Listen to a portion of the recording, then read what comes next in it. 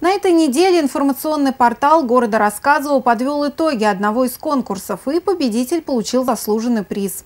А вот возможность выиграть бесплатное обучение в автошколе все еще есть. Для этого необходимо предоставить свою работу в конкурсе «Хочу права». Участники конкурса автоматически станут участниками лотереи, а значит победитель будет не один. Автор лучшего транспорта мечты получит 50% скидку на обучение в автошколе автодиагностика. А лотерея лотерейный билет предоставит возможность выиграть бесплатное обучение или 25% скидку. Награждение и лотерея состоятся 25 октября в День автомобилиста. Рассказовцы не хотят упускать такую возможность. Портал пополняется новыми работами. Андрей Николаевич Котов раньше был автомотолюбителем, а теперь хочет стать профессиональным водителем. Елена Сергеевна Григорьева вспомнила свои ощущения за рулем картинга и захотела настоящие автомобильные права.